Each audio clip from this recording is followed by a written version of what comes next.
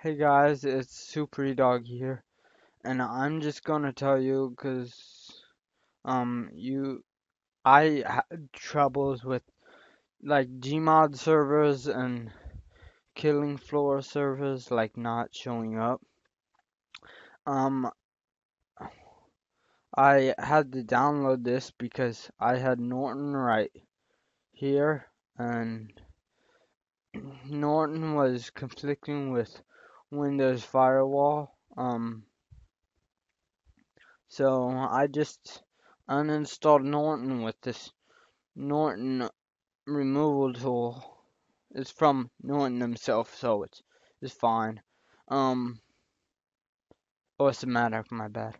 But um, yeah. So I hope you guys found this information helpful. Um, yeah. See you guys.